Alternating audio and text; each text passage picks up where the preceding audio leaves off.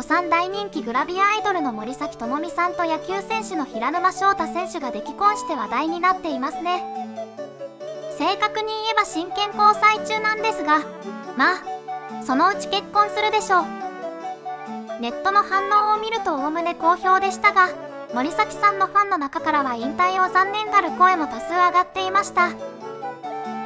引退を決めたから結婚に踏み切ったのかそれとも妊娠したから引退に踏み切ったのかは不明ですが大人気の彼女まだまだ稼げそうなだけにちょっと引っかかる部分はありますね。平沼選手の年俸は1500万円だそうで来季はポジション争いもあり崖っぷちとまで言われていて森崎さんとは格差婚とも言われています。奥さんも妊活に入り仕事はセーブするでしょうということでこのタイミングの結婚というのはとりあえずめでたいものの先行きを考えると他人事ながらちょっと心配になってきますね。以上森崎さんについてでした。当チャンネルでは毎回話題のグラビアアイドルを取り上げていきますのでよろしければチャンネル登録をお願いします。